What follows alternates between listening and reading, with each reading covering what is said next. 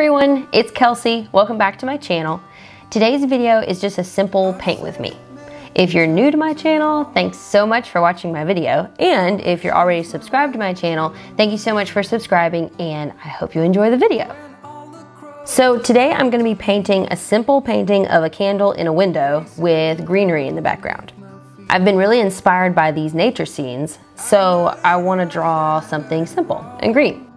So I was gonna gold leaf the flames of the candle, but then I decided not to because it would be my luck that I would get the whole painting done and then royally mess up the gold leaf. As you guys know, I'm very young in my artistic journey due to going to school for like 4,000 years. So I stopped creating art in high school when I started playing guitar nonstop. And after that, I was off to music school and then eventually to law school. So anyway, my point is that I've come to learn that mixing colors is not only a way to get the right color, but to explore new combinations. Sometimes I look at my palette paper and I think about how beautiful it is because of all the color combinations and brush strokes. So maybe one of these days my video will be just of my palette. I've wondered for a while why my paintings are so flat and untextured, but then I started becoming more free in the direction of my brush strokes and found out that that creates a lot of texture, especially when you're painting bushes and trees.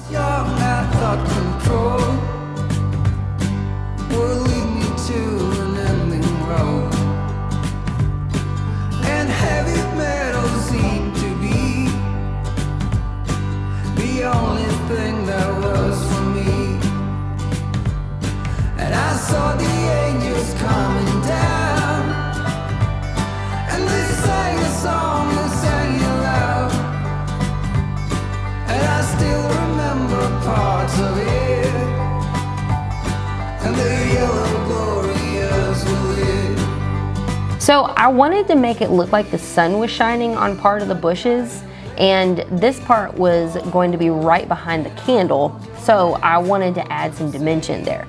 And actually, I did this part with a sponge and it worked out super well. It created the soft, blurry edges that I wanted.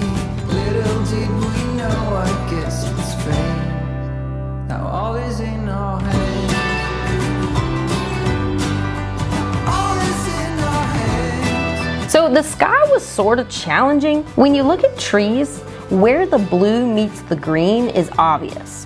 But there's parts of the blue sky that shine through the trees. It was hard to depict this because it had to be random, but I've also noticed that there is some sort of order to it. It's not a huge round spot of blue, naturally, but it's also not tiny specks either.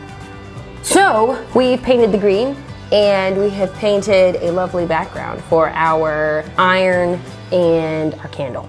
But Quick painting break to tell you guys what happened to me over the weekend. Me and my husband normally go grocery shopping on Saturdays, and I normally get hungry which then requires us to buy more groceries so I have a snack on the way home. Not really a good idea when groceries are super expensive now and you can't even get kiwis for like less than 10 bucks. Like what is that about? So I brought along an Ezekiel 4-9 English muffin.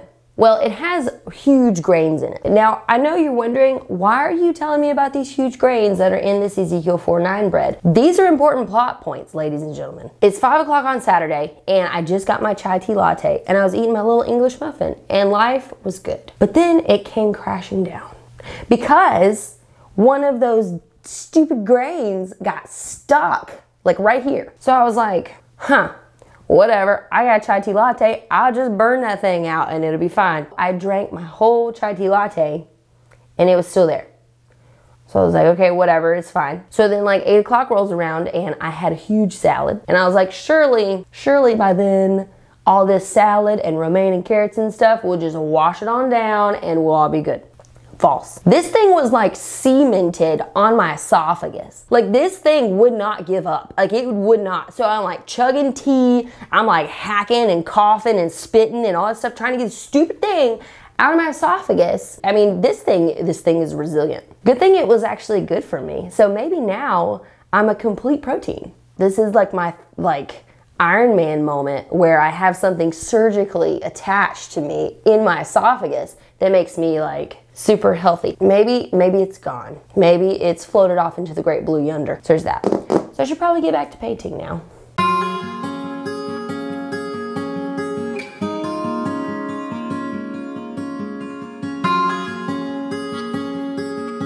So now that you know about my superpower lodged in my esophagus, let's talk about the painting. I wanted to make massive brown window panes made of wood but I also wanted it to be at an angle, so that was kind of difficult. And after that, I wanted some wrought iron window panes.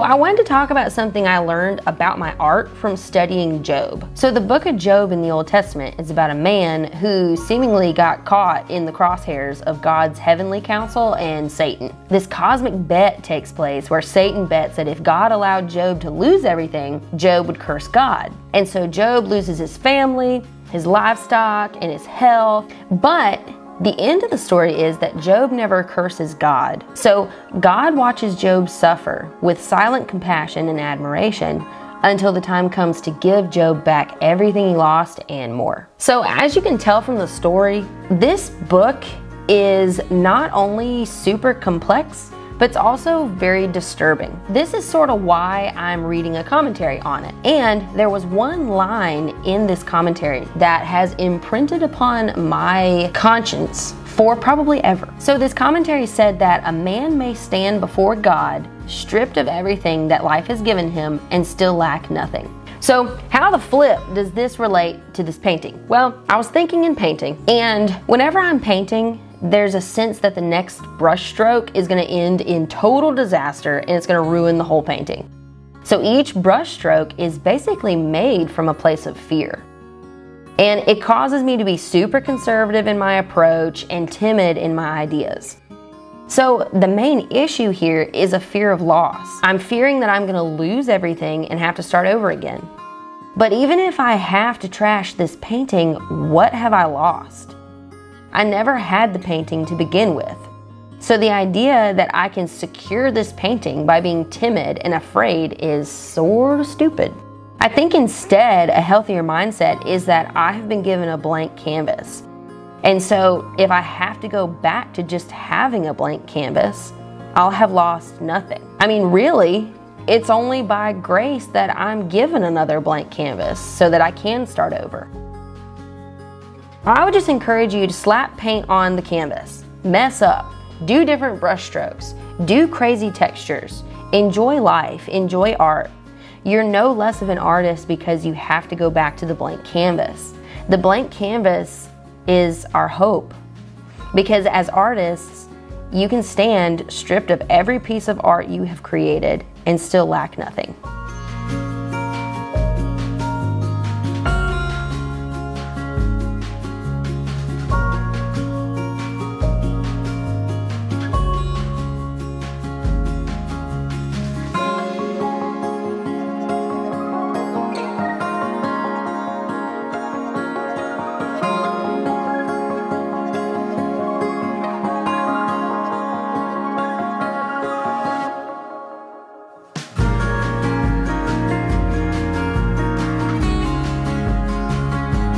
I hope you guys enjoyed this video and I hope you're super encouraged to go paint.